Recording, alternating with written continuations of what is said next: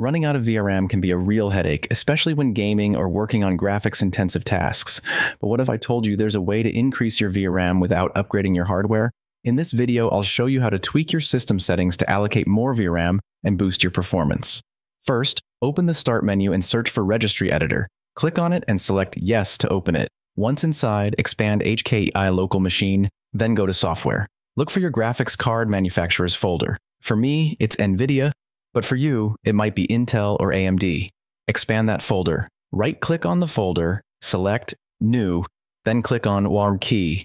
Name the new key GMM and press Enter. Now, click on the GMM folder, then right click on any blank space. Select New, then choose DWORD 32-bit value. Name this new value dedicated segment size and press Enter.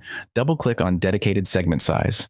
Here's where you'll set the value based on your system's RAM. For example, if you have 16GB of RAM, set the value to 496. If you have 8GB, set it to 2048. Once you've entered the value, click OK. For the final step, go back to the Start menu and search for Device Manager. Open it, then expand Display Adapters. Right-click on your graphics card and select Update Driver. Choose Search automatically for drivers. If the best driver is already installed, restart your computer. Once your PC reboots, your VRAM allocation will be increased, and you should notice improved performance. And that's it. You've successfully increased your VRAM allocation.